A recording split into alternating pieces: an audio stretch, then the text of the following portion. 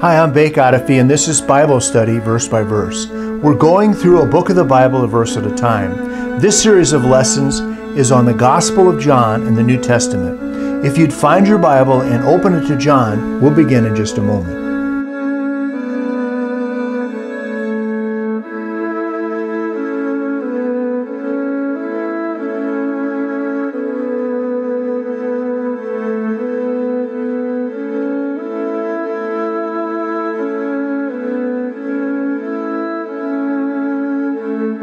John is the Bible book we're studying. This is lesson 58, and we're beginning with chapter 6 and verse 40.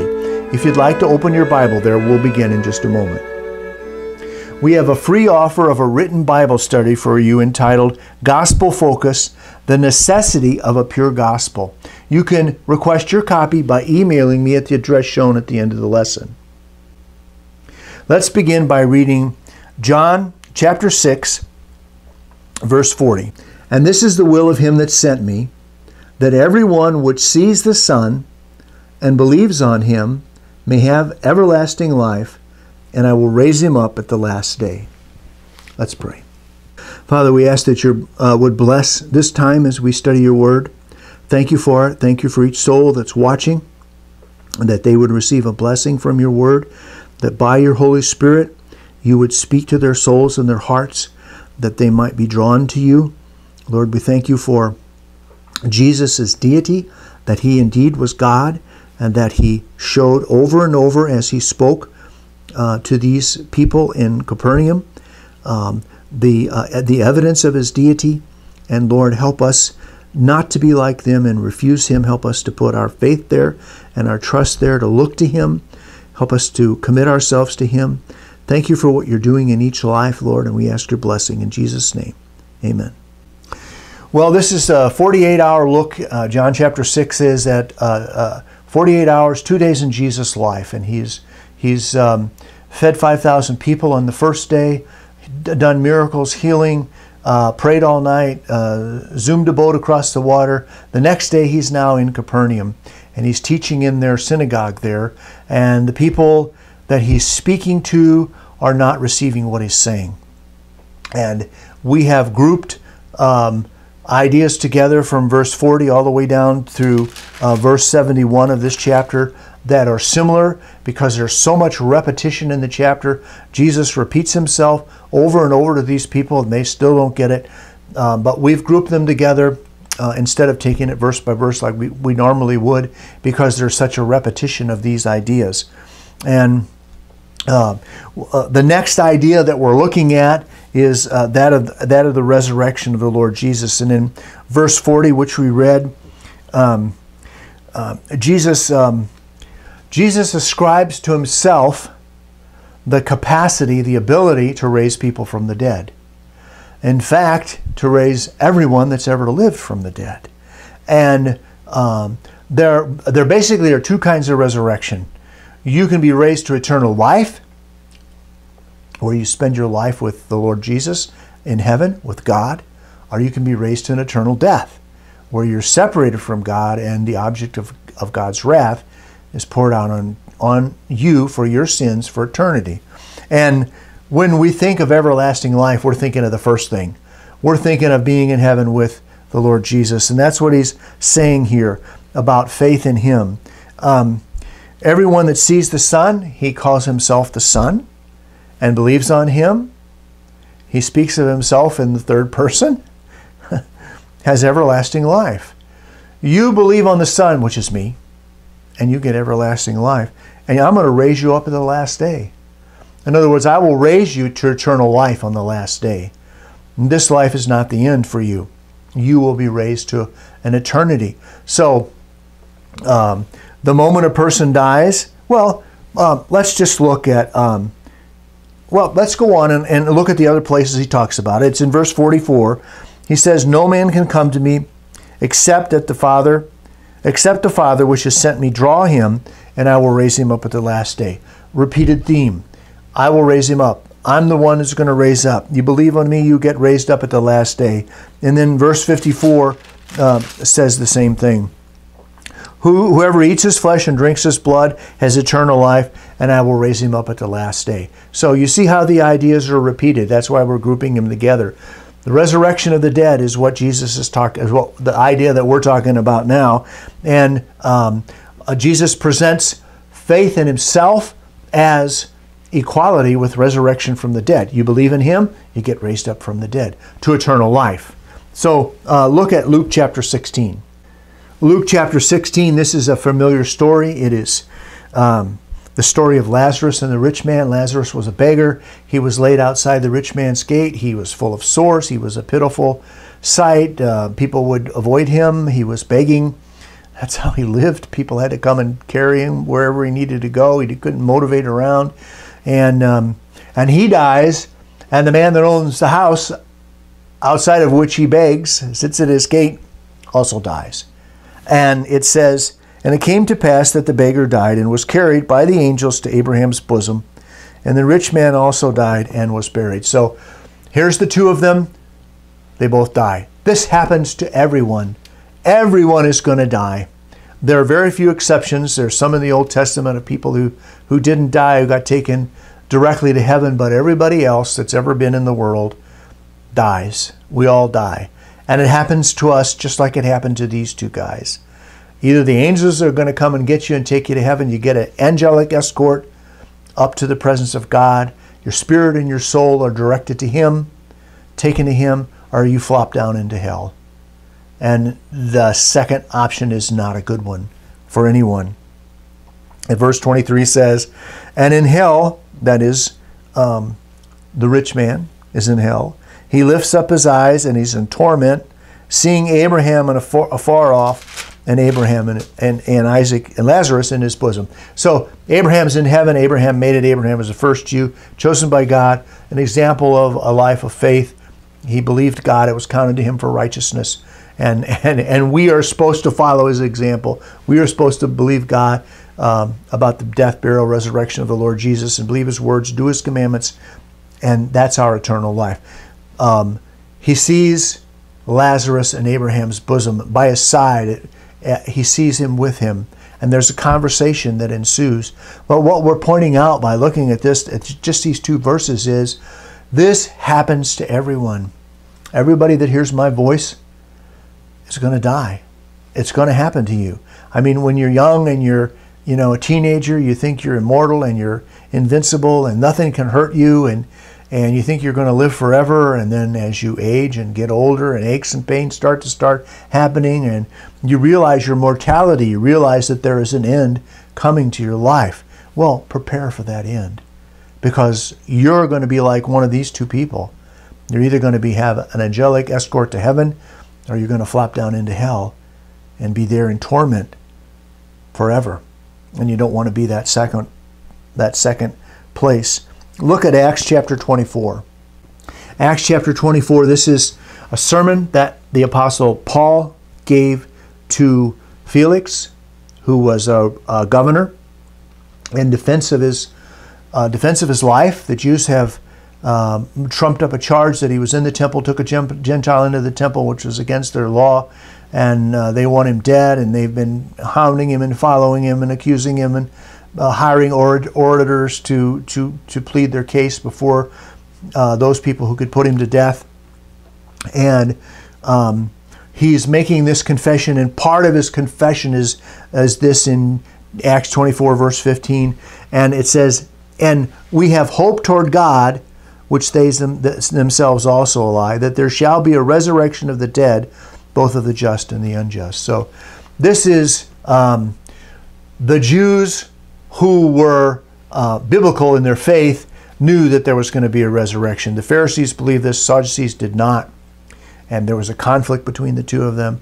Paul used this fact of the, of the unbelief of the Pharisees in a resurrection and the belief of the Pharisees in one to set them against each other so that, um, so that he could um, be delivered from their hands. but it was smart, really smart. And um, his defense against Felix is I'm on trial here today for a hope that our nation uh, allows. Our hope, our, uh, our nation uh, believes in this, that there will be a resurrection from the dead. This is a guy who saw the resurrected Christ on the road to Damascus and heard him speak to him. He blinded him. He told him what he was going to do and how he was going to serve him. I mean, the resurrection of the dead is um, uh, proof that Jesus is who he says he says he is. Look at uh, John chapter 5. John chapter 5, verse 25. There Jesus says, Truly, truly, or verily, verily, I say to you, the hour is coming, and now is, when the dead shall hear the voice of the Son of God, and they that hear shall live. So, hearing the voice of the Son of God means you receive it, you accept it, you believe it. Um, some people hear, like these people in John chapter 6, and they aren't going to accept it. Eat my flesh, drink my blood, no thanks. Don't want any part of that. They don't understand, they don't hear, they're not comprehending. But those who do hear, when, when you put your faith and your trust in the Lord Jesus Christ, you're born again at that point. You have eternal life. What was dead inside you toward God becomes alive. God comes and takes up residence inside of you. He lives within you. And uh, uh, He opens the channel of communication between you and God. God's Word begins to make sense. You begin to, to, to, to desire to pray and to read His Word. You begin to fellowship with other believers. You get baptized to show that your identification with His death and His burial and His resurrection. You hear His voice and those that hear shall live. And then look at verse 28 and 29. Jesus says, Marvel not at this. You know, don't be amazed. this is, this is a, a basic truth. Don't marvel at it, for the hour is coming in which all that are in the grave shall hear his voice. He's talking about himself. Everyone is going to hear my voice. When he comes back, he's going to speak and everyone that's ever lived and, and died on this earth is going to hear his voice. Whether your body's been cremated or uh, placed in a nice uh, coffin made out of copper or coffin made out of wood or dumped in a hole with other bodies after a mass killing or eaten by the fish in the sea or whatever, by, by whatever means your body was disposed of after you die, we're all coming back. We're all getting a new body. Uh, an eternal body. We're going to hear his voice. And verse 29 says, And shall come forth they that have done good unto the resurrection of life, and then they that have done evil unto the resurrection of damnation. So there's two resurrections, like I said. There's one to life and there's one to damnation. There's the Lazarus that gets taken by the angels to Abraham's bosom, and there's the rich man that falls down into hell and is separated from God and under torment forever. And it's at the voice of the Lord Jesus that this happens. Some to the resurrection of life, some to the resurrection of damnation. Everyone will hear his voice. Turn to John chapter 11. John chapter 11, Jesus, his friend uh, um, Lazarus has died. Uh, this is a different Lazarus, not the beggar. This is Mary and Martha's brother. Jesus uh, often stayed in their home, taught there. They were receptive to him, they were believers in him. And he found out that Lazarus was sick. He purposely delayed his coming to their home because he wanted Lazarus to die so that he could raise him from the dead. And in the process, before he raises him, uh, he has a conversation with Mary and Martha, and this is part of the conversation Martha that he has. Martha says in verse 24, uh, I know, um, she says to Jesus, I know that he shall rise again, Lazarus, her brother, in the resurrection at the last day. I, she believes in the resurrection of the last day. There's going to be a resurrection. She believes this. Jesus said to her, I am the resurrection. What does that mean? Well, he's going to speak, and people are coming out of their graves and the resurrection you want to be part of is the one that where you go by the angels to heaven, where it's a resurrection to life instead of death. I am the resurrection and the life. He that believes on me, though he were dead, yet shall he live. I mean, he, this is a claim to his deity. I am the resurrection. I, everyone that believes on me And the last day, I'm going to raise him up. I'm coming back. No, no longer a little baby in a manger, uh, born where shepherds come and worship him. He's coming back in power. He's coming back uh, with a host of heavenly angels. He's coming back with authority and with judgment. He's coming back and raising everyone by his voice. And, and speaking, and all the graves are going to be opened. And everybody is going to be reconstituted. And he's going to judge the world in righteousness and give eternal life to those who've trusted in him in a, in a resurrected body. He is the resurrection and the life. So, the resurrection uh, of uh, believers is um, to life is part of his claim to deity to these people. If you believe in me, you get a resurrection unto life. Another claim uh, that Jesus has of, of deity that we see in John chapter 6, turn back there, is um, in verse uh, 43. Um, we're going to run through uh, three of these verses. He understands what the people that are around him are thinking. He understands what's going on in their hearts without them telling him outright. Okay? So this is part of the omniscience of God, part of his all knowingness, that he knows everything. There's nothing that escapes his notice. Uh, look at verse 43. Jesus answered and, and Jesus therefore answered and said to them, Murmur not among yourselves. They're complaining and murmuring. You know what murmuring is? It's blah, blah, blah, It's under your breath so that the person you're complaining against really can't hear you. And um, and and and really you uh, you're you're simmering inside. You're kind of boiling over inside, and you don't like what's happening, and you're angry and you're bitter, and you're murmuring against this person, or it's not going the way that you want it to go. It's not going your way. And that's what's happening here. And Jesus understands this. And they're murmuring among themselves, to themselves. And he says, Don't murmur among yourselves. How does he know this? He's omniscient. It's, it's God speaking when Jesus speaks. Look at verse 61. Um, he says there, When Jesus knew in himself that his disciples murmured at it, he said unto them, Does this offend you? So he knows in himself what they're thinking. He knows they're offended by his words Eat my flesh, uh, drink my blood. My flesh is meat indeed, my, my, my blood is drink indeed. Uh, uh, I'm the bread that came down from heaven. They are offended in this, and, and he understands that.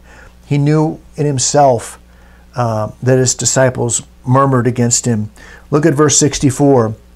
But there are some of you that believe not. That's Jesus' words, end of his sentence. For Jesus knew from the beginning who they were that believed not and who should betray him. I mean, he, he chose Judas Iscariot uh, himself. And he knew that this guy is going to betray me. At the end of my life, when I'm arrested, Judas is going to lead them to me to arrest me. And he treated him with the kindness and love and, and, and care that he did his other 11 disciples. And in fact, he gave him charge of the money for the group. He held the bag, the scripture says. He, he controlled the money. They, they, they pooled their money together. And when, when they needed something, he had the money to buy it.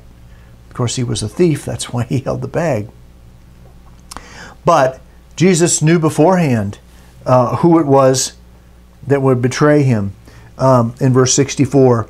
And um,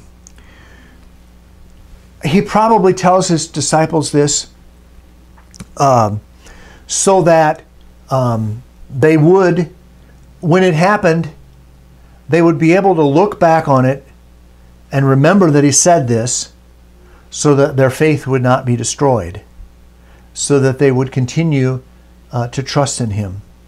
Um, he knew who it was that was going to betray him. Look at Psalm 139. Psalm 139, uh, we'll just read the verse seven verses of this psalm. I mean, this is a, um, a statement of God's omniscience, a statement of Um, there's nowhere for us to go to hide from God. There's no thought that we can keep back from Him. There's no um, no action that we can perform that He doesn't understand and see. He He is everywhere and He knows everything. You got nowhere to hide. Is what this psalm is about. Oh Lord, it says, You have searched me and known me. God searches us, God knows us. You know my down sitting and my uprising. You know my every move. I can sit down, I can get up, you know all about it. You understand my thought afar off. He knows our thoughts. No, we saw it in John chapter 6. They murmured, he knew it. He knew what was in their hearts. Um, he knew Judas would betray him. He knows that. You compass my path and my lying down and are acquainted with all my ways. So, you know, a compass of your path is you're surrounded by him. There's no place you're going to go that you're not with him or that he's not around you. And he's acquainted with everything that you're doing. All your ways, God knows all about it. Your thoughts, your actions, you're lying down, you're getting up, your travel, everything that you do. Verse 4 For there is not a word in my mouth, in my tongue, but lo, O Lord, you know it altogether. So the words that we speak, he, he knows them before they come out of our mouths. Who is this guy? I mean, fantastic, um, extraordinary. You know, think about this. He knows that for you, every thought, every action, every motive, every word before you speak it, your path, everything that happens to you, sit down, get up, where you go. Not just you, but everyone. There's no one that escapes his notice. His computer is infinite. He records everything and he knows everything. There's no darkness with him. There's no place where we can run and hide and, and, and do our sin in darkness because He's everywhere and He knows everything. You have beset me, I mean, surrounded me, kind of hemmed me in a little bit, behind and before, and laid your hand upon me. Um, you know, direction. God gives direction in our lives. Such knowledge is too wonderful for me, it is high. I cannot attain unto it. So uh, the circuit breakers in my mind explode and blow when I try to consider God knowing everything just about me, but about everybody and knowing it completely. I mean, who is this God with which we have to do? I mean, shouldn't we be bowing down and worshiping Him, our Creator, the sustainer of our lives, the one who's going to speak and everyone's going to come out of the graves, some to eternal life and some to eternal damnation? We need to to acknowledge this. We need to, to worship Him. We need to come to Him. And then he says, Where shall I go? Verse 7 From your spirit, or where shall I flee from your presence? And this is rhetorical. Rhetorical questions are easy to answer because the answer is obvious. Where are you going to go to escape from God? And the answer is you can't. There's no place to go. You can't escape His Spirit. You can't escape His presence. He is everywhere and He knows everything about you, even your words before you speak them. This is the omniscience of the Lord Jesus. This is the claim that He's making to these people. I mean, can you imagine talking to Him and have Him answer your question while it's only forming in your mind and He answers it? I mean, it's um, God. There's no other explanation for it. It's God. You know, we have uh, magicians who perform tricks and and have ways of manipulating conversation and, people to make it look like they have this quality, but they don't really have it. It's all a trick. I mean, if you just stand there and ask and, and, and ask him, what am I thinking about? He'll have no idea. But God knows. He knows every thought. He knows what you did. He knows what you're going to do. He knows every thought, everything that's about you. And there's no place you can go to get away from it you're in it. so you might as well trust him and give yourself to him. Worship him and bow down before him. Look at Matthew chapter 9. Matthew chapter 9, uh, verse um, 3 and 4. Um, he's, um, he's, he's forgiven a man's sins.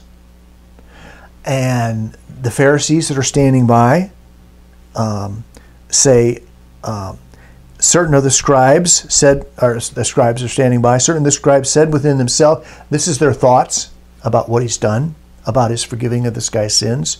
This man blasphemes. He can't do this. Who does he think he is? Forgiving this guy's sins. Only God can do that. You can't do that. And Jesus, knowing their thoughts, said, Why, Wherefore do you think evil in your hearts? I mean, right then and there, they should have said, Uh oh, we're in trouble. This guy knows what we're thinking. And we didn't say anything to him. We thought he's blaspheming and he just forgave this guy's sins. And then Jesus goes on to say, Well, which is easier to forgive sins or to say to get up and walk? So he commands the guy to get up and walk, and he does. He was, you know, laid out, sick of the palsy, unable to walk. Um, and he heals him. That's who we have to deal with. That's who the Lord Jesus is. That's an evidence of his deity, his omniscience. He knows everything, and he knew everything about these people. Well, let's turn back to John chapter 6. We're just going to go through the, uh, John chapter 6, we're going to go through the um, five verses and talk about how the Jews received him. What did they think of this? Their reaction. Look at verse 41. The Jews murmured at him because he said, I'm the bread which came down from heaven. That's the murmur, that's the nasty, uh, under your breath, uh, complaining, griping, bitterness, anger, uh, not coming up and talking to the person outright, but doing it uh, so that others will understand that you don't agree with what's being done without ever actually coming out and saying it. They're murmuring against him. Verse uh, 52 uh, The Jews therefore strove among themselves, saying, How can this man give us his flesh to eat? So that there's a fight between them. They're discussing what he's saying and they're not agreeing with it. There's a strife that occurs because of it. In verse 60, many of his disciples, when they heard this, said, This is a hard saying. Who can hear it? Hearing the saying means believe it. Who can embrace this? Who can take this in and say that they believe it and that they will live by this and they will understand it and they will uh, comprehend it and they will do it? Um, who could hear this, they say? Who could hear it is, um, is the idea that we're not buying what he's selling. We're not going to take that in. We don't believe that.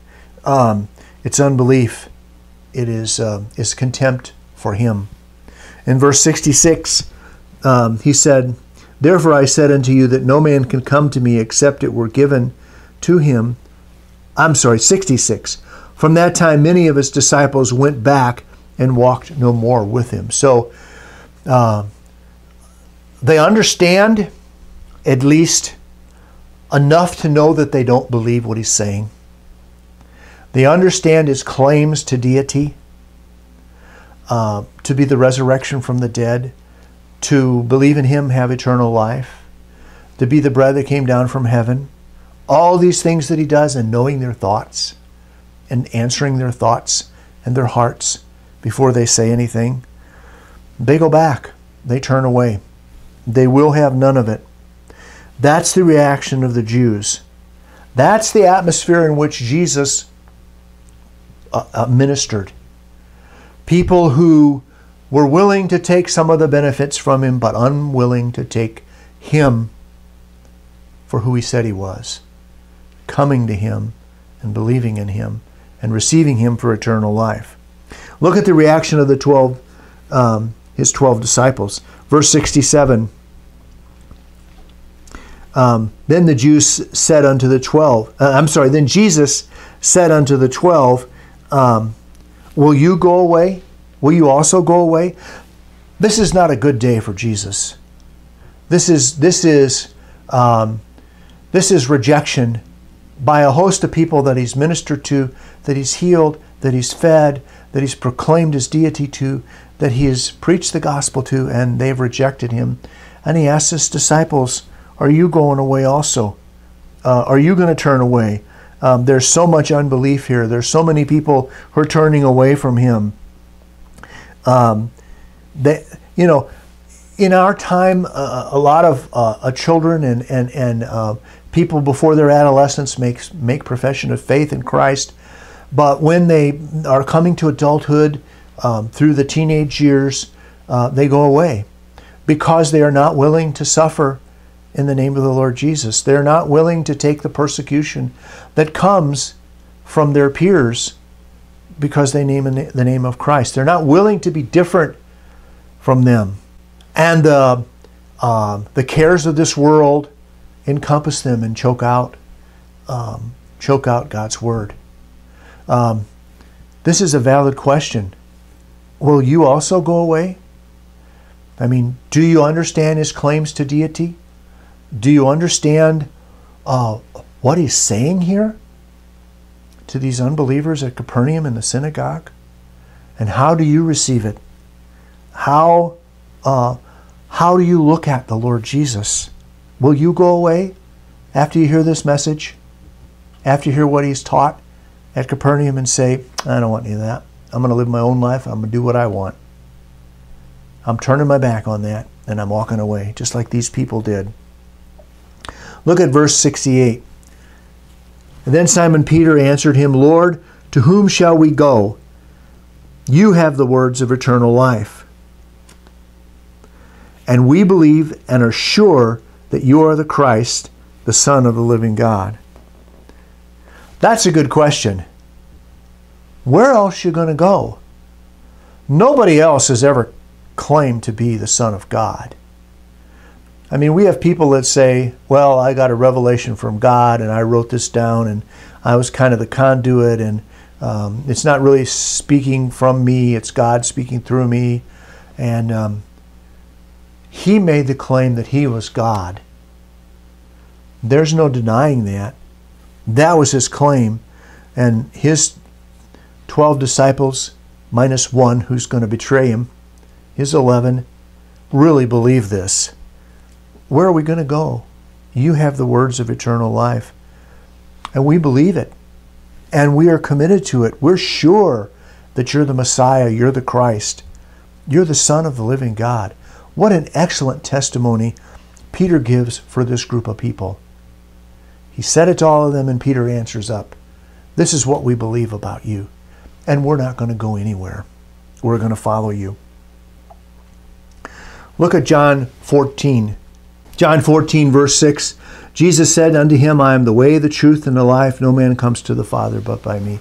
Haven't memorized this verse? Memorize it. This is Jesus' explanation for who he is. He's the way to God. He is, in his person, truth. Uh, no one comes to God except through him. You have to go through the Lord Jesus. He is the narrow gate that leads to eternal life. Everybody else is on the broad way that leads to destruction. I'm the way, the truth, and the life. You want to live? Eat the bread of life. Eat his flesh, drink his blood. Understand his word. Receive it and come to him. No one comes apart from him. Look at Acts chapter 4. Acts chapter 4, this is um, Peter's defense um, about preaching the Lord Jesus, and he's talking to people who have rejected Christ and had him crucified. And he says of the Lord Jesus, This is the stone, Jesus, which was set at naught by you builders. They were to build the nation of Israel, they were to proclaim God's word. They, uh, they had the responsibility to do this. They set Jesus at naught. In other words, they didn't believe him. They hated him. They had him crucified they destroyed him, they thought. And in destroying him, they uh, uh, did exactly what God wanted, and, and he forgave sins and rose up from the, from the grave. But they, as builders, set him at naught, uh, discounted him, which has become the head of the corner. So he is the chief cornerstone of the church. the building is built upon the Lord Jesus Christ. It's square, it's level, it's firm because He is the foundation for it. Our faith rests upon Him. And, and all the apostles and prophets uh, spoke um, His word that they received from Him. And then he goes on to say, Neither is sal- there salvation in any other. There's no place else to go. Same thing John 14, 6 says. There's salvation no, nowhere else. Where are you going to go to be saved from your sins? It's only in Jesus, only in Him. For there is none other name under heaven given among men whereby we must be saved. His name alone saves people. Jesus is salvation. His apostles are having, I mean, his disciples here are having a good reaction to the others who have walked away and will have nothing to do with him, have turned their back on him, and they make this good confession You're the Christ, you're the Son of the living God. We got no place else to go.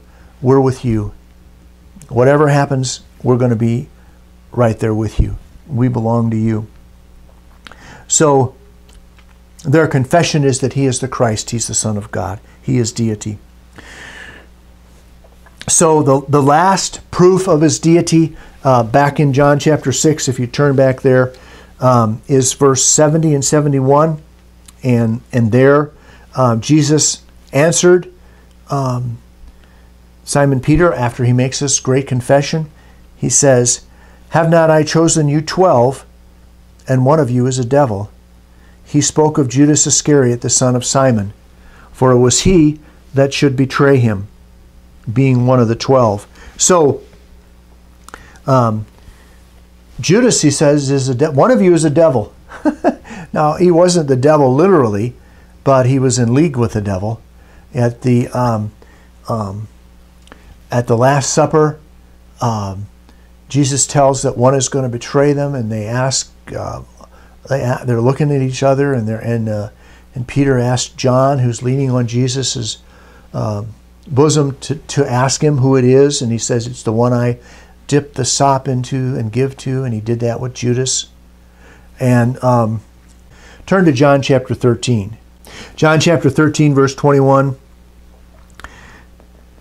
When Jesus had thus said, he was troubled in spirit and testified and said, Verily, verily, I say unto you that one of you shall betray me.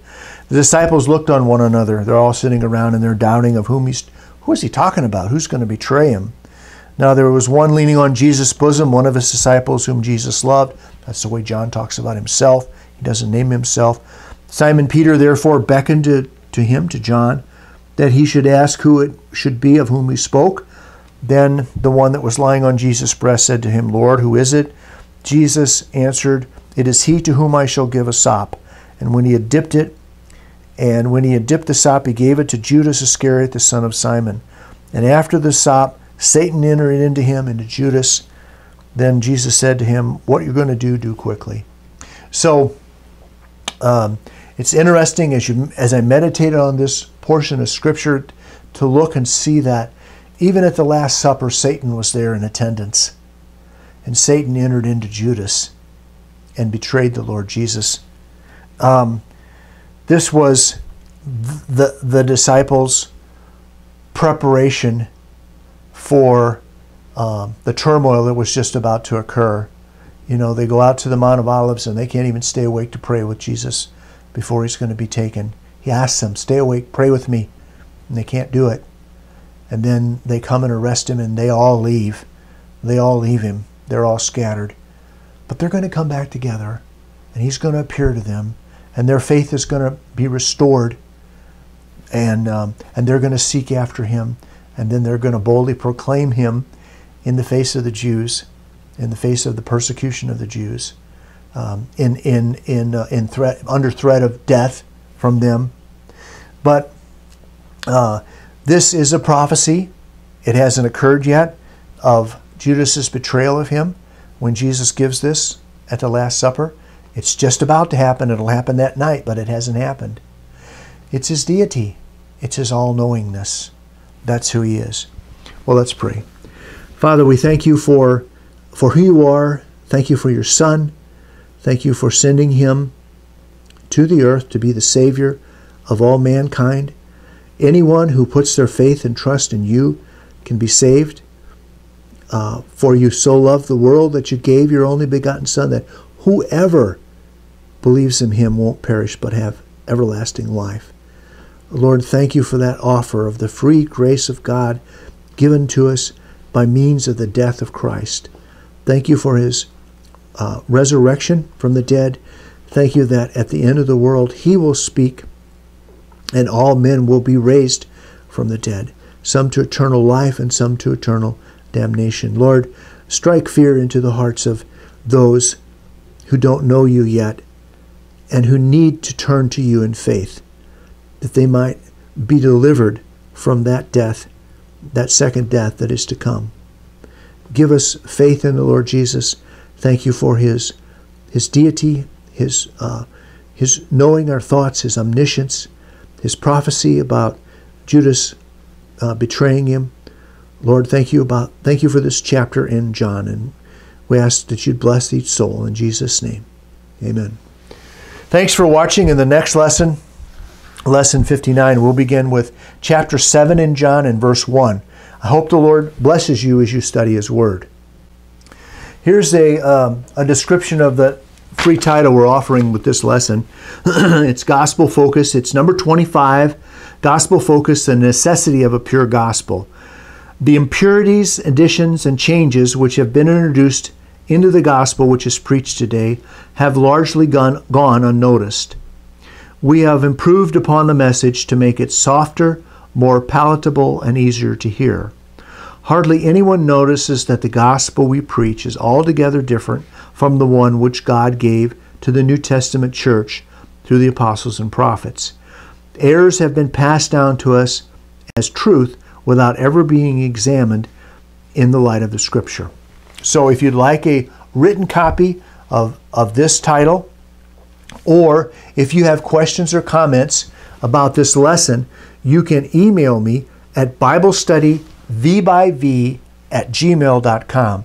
And please don't forget to subscribe to my channel for more Bible study, verse by verse.